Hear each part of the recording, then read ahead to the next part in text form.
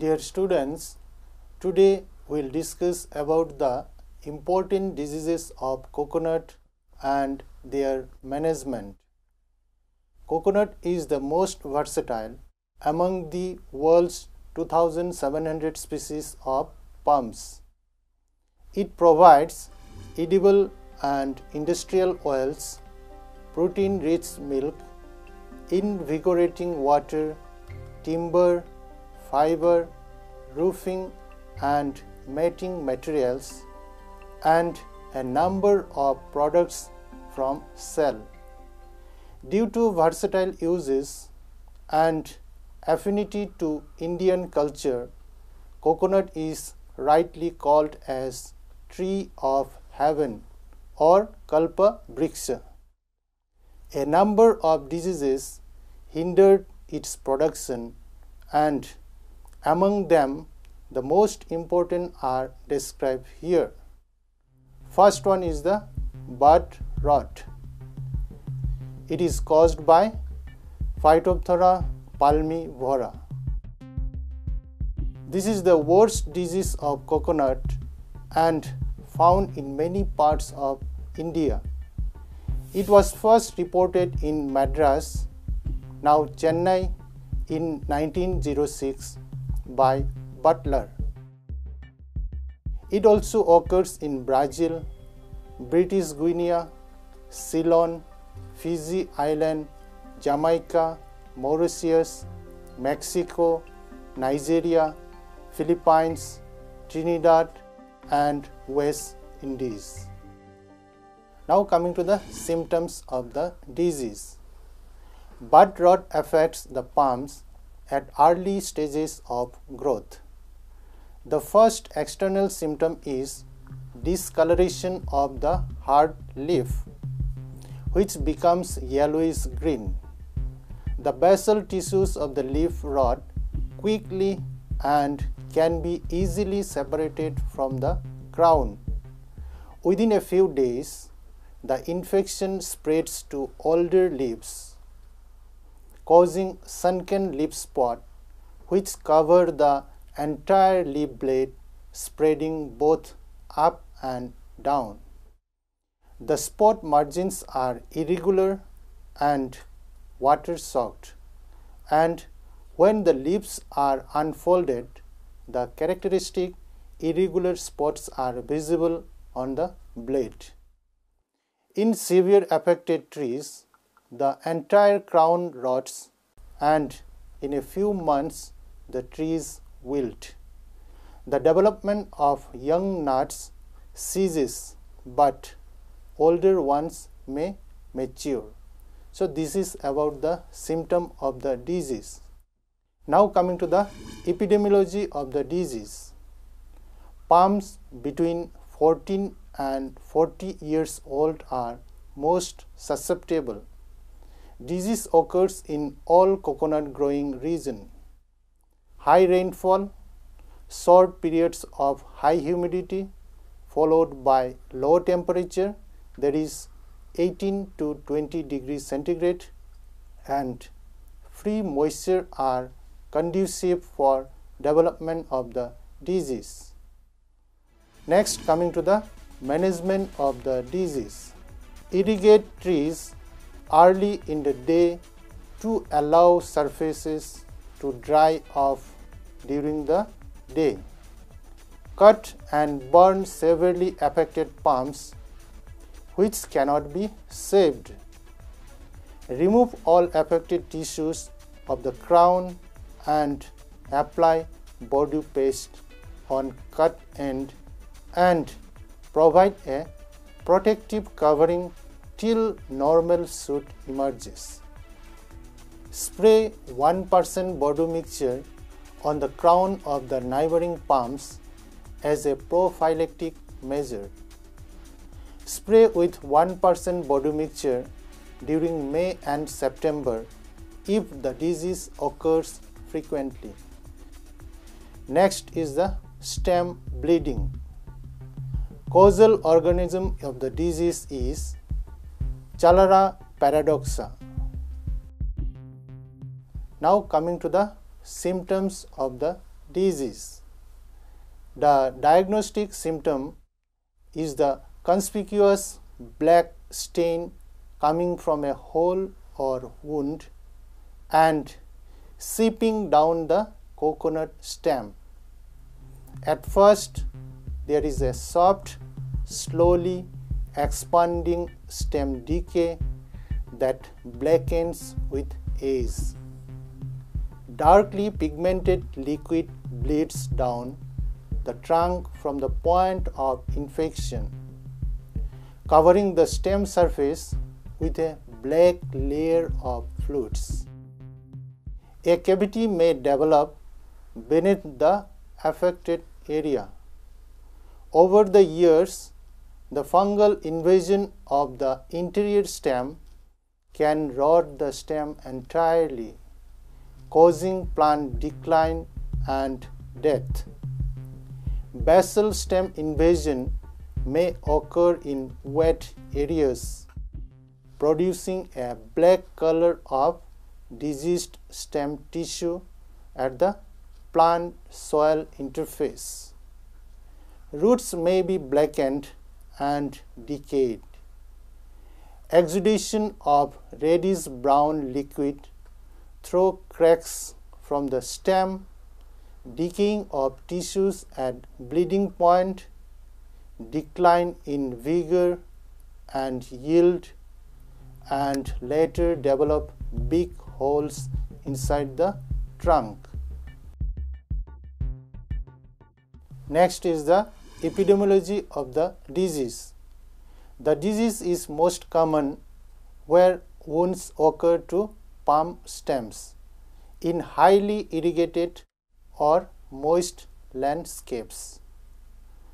Wounds exposed to chalara infested soil are prone to infection, especially where nozzle irrigation impacts the wound.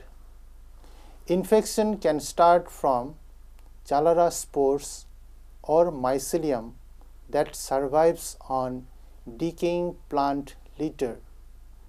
Growth cracks on the coconut trunk, severe downpours, water stagnation, imbalanced nutrition, excess salinity, and plant stress act as predisposing and aggravating factors. So, this is about the epidemiology of the disease. Next is the management of the disease. Avoid any mechanical injury to the stem. Provide adequate irrigation during summer and drainage during rainy season. To avoid spread of disease, on the upper portion of trunk root feeding with 5% calixin may be adopted 3 times a year that is April, May, September, October and January, February. Along with 50 kg organic manure, apply 5 kg neem cake containing the antagonistic fungi trichoderma culture to the basin during September. Apply recommended doses of organic manures and chemical fertilizers. Coconut stem boring insects like Xyleborus, Diocalandra should be controlled by applying carbaryl 50% WP on the trunk at the rate 3 gram per liter water. Avoid replanting in the same spot.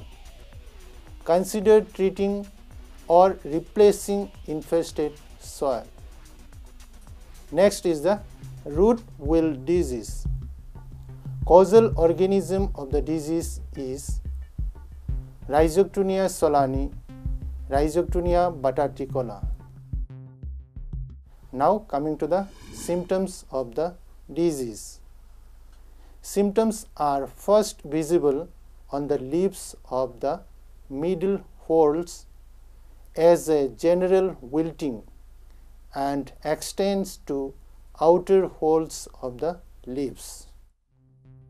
The leaflets are bent abnormally and this is called ribbing of leaflets or flaccidity, a typical characteristic of the disease. Gradually these leaves turn yellow and exhibit marginal necrosis. Affected young palms exhibit only the flaccidity of leaflets for a long time. In older palms, flaccidity is followed immediately by foliar yellowing and necrosis. The newly formed leaves are small in size. As the disease advances, the whole crown gets smaller in size due to reduction in size and number of leaves and finally become highly unproductive.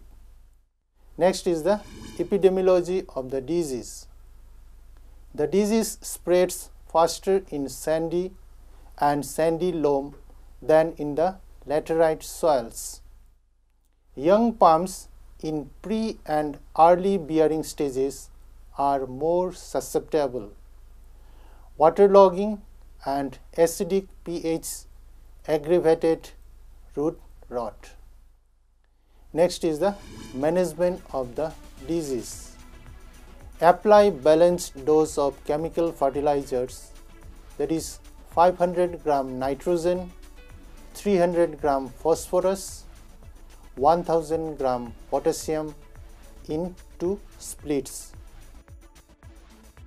That is one third during April May and two third during September October under rain-fed condition and in four splits during January, April, July and October under irrigated condition. In addition to this, 500 gram magnesium oxide also has to be applied along with second dose of fertilizer application. Apply organic manure at the rate 50 kg per palm per year. Cut and remove uneconomical palms which may yield less than 10 nuts per palm per year. Green manure crops like cowpea, sun hemp, mimosa, etc. may be sown in coconut basins during April-May and incorporated during September October. Irrigate coconut palms with at least 250 liter water in a week. Adopt suitable inter or mixed cropping in coconut gardens. Provide adequate drainage facilities. Next is the leaf rot disease. Causal organisms associated with the diseases are Helminthosporium halodes, Colletotrichum paucicetum, Gliocladium roseum, Pestalozzia palmarum. Next is the symptoms of the disease. The symptoms appear occasionally on different parts of leaflets of young tender leaves. The spindles remain white and soft for a relatively longer period. The tips of rotten leaflets of the spindle stick together even while the base of the leaflets is open. Next is the epidemiology of the disease. Severe incidence of the disease is observed in monsoons when high atmospheric humidity and low temperatures prevail. Fungal spore population in the atmosphere is high during monsoons. Free moisture or wetness and dew and compactness of spindle foliage are also found to influence the disease incidence. Next is the management of the disease. Improve general condition of the palms through proper manuring and management. Remove the decay portions of spindle leaf and upmost two leaves only. Pour fungicide solution of hexaconazole aderate 2 ml or mancozeb 3 gram in 300 ml water per palm to the base of spindle leaf. Apply 20 gram Phorate 10G mixed with 200 gram fine sand around the base of spindle leaf. Resistant varieties such as New Guinea, San Ramon, Guam and Kenya can be used for planting.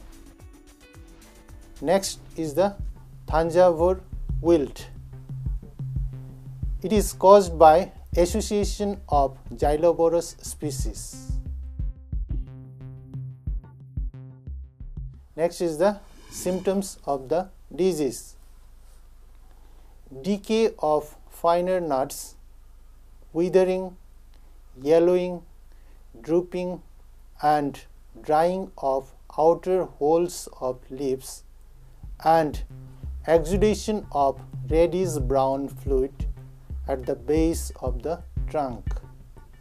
Spindle leaf remain as dry for longer period where other leaves drop down. Next is the epidemiology of the disease. Disease favors by sandy soil, lack of moisture and it is prevalent in most 10 to 30 years old trees. Now let's see about the management of the disease. Practice growing banana as an intercrop in coconut plantings. Root feeding with calixin added 2 ml in 100 ml water once in 3 months.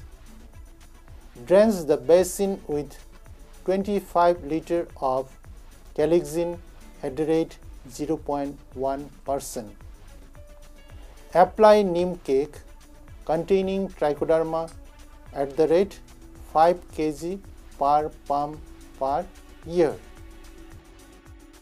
Apply recommended dose of organic manures. Avoid flood irrigation and follow drip irrigation. Practice clean cultivation and burn of diseased plant pest. Isolate infected palms by taking trenches of 1 meter depth and 0.5 meter width around the palm at 1.5 meter away from it. Next important disease is Kadang-kadang disease of coconut. Causal organism is coconut kadang-kadang viroids.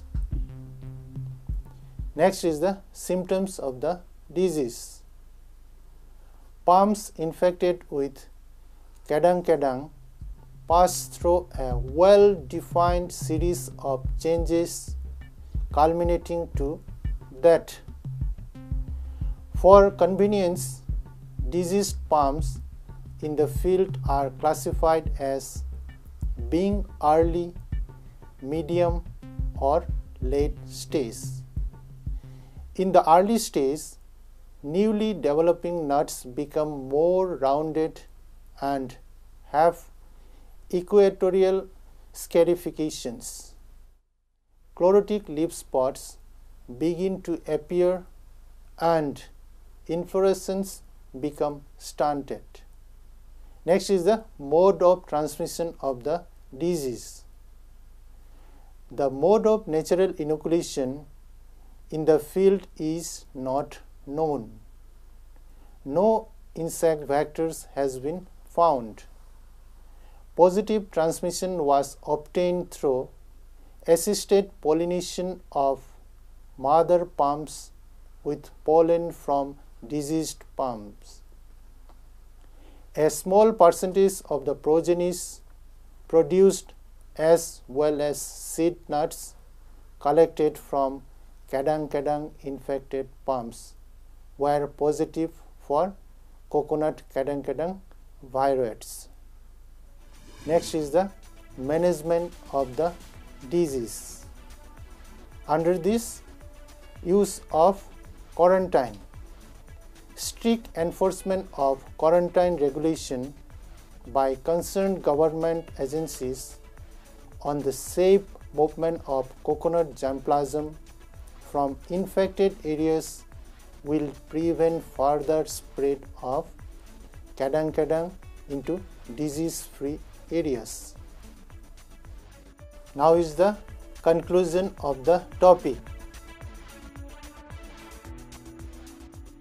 Coconut is one of the important trees where all its parts are important. There are several pests and diseases that hampered its production. Important fungus diseases that cause losses in coconut productions are bud rot, stem bleeding, root wilt, leaf rot, Thanjavur wilt, kadang kadang, and red ring nematode. Management of these diseases depends on proper diagnosis of the diseases, understanding the source of infection, time of disease appearance, survival, and other epidemiological factors.